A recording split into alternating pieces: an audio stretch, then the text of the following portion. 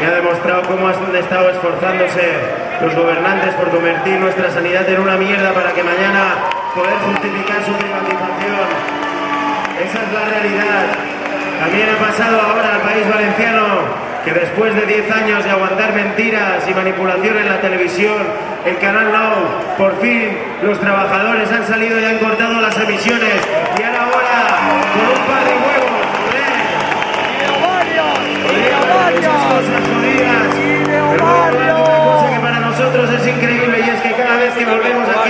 a Euskal Herria, ya sea en Guipúzcoa, ya sea en Áraba, en La Parroa, en una parte de la ría o en la otra, nos sentimos como en casa.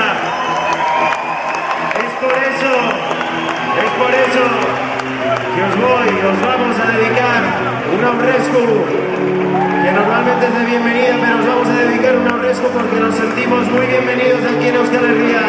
Es que